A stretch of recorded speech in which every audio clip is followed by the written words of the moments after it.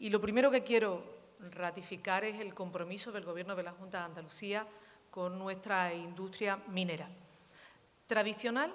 y al mismo tiempo innovadora, sostenible y con responsabilidad social. La minería que hoy defendemos en Andalucía, que lideramos y que abanderamos en Andalucía, tiene esas tres señas de identidad. Apuesta por la innovación, creemos además que ahí en la innovación y en el talento está la capacidad de ser competitiva de nuestra tierra,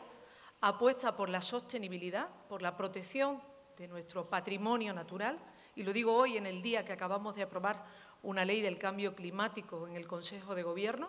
y en esa protección de nuestro entorno natural está la riqueza presente y la riqueza futura, de que cuando vengan nuevas generaciones podrán disfrutar de las mismas posibilidades que hemos tenido los que hoy vivimos y, disfrutamos de nuestro entorno y de, nuestro, mm, de nuestra riqueza, de, nuestra, de nuestro subsuelo en Andalucía.